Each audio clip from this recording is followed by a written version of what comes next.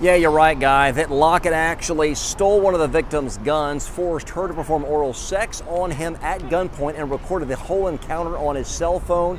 The victim's tear-filled account of what happened gave the jury a very uh, powerful introduction into the prosecution's case. Investigators are calling Jonathan Master Lockett one of the worst serial rapists in recent Birmingham history.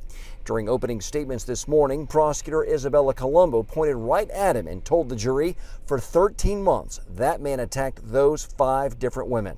The eight sex crimes Lockett is being tried on include sodomy, rape, and sexual torture.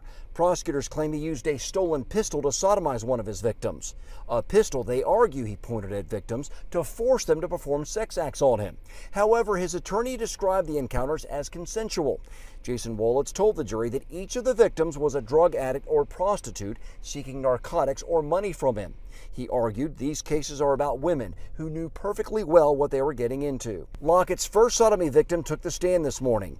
In tears, she described how when she met him in 2019, Lockett stole her pistol and forced her to perform oral sex on him at the end of a barrel. She testified, so in my head, I just didn't want him to kill me, knowing he had my gun. Watched a short clip of the video that the prosecution claims that uh, Lockett shot at that encounter with that victim. You could hear her shaky, fearful voice on that video. The jury watched this when she said, Oh God, please no. Testimony resumes tomorrow morning and should last the rest of the week. Live in Birmingham, John Papke, WVTM 13.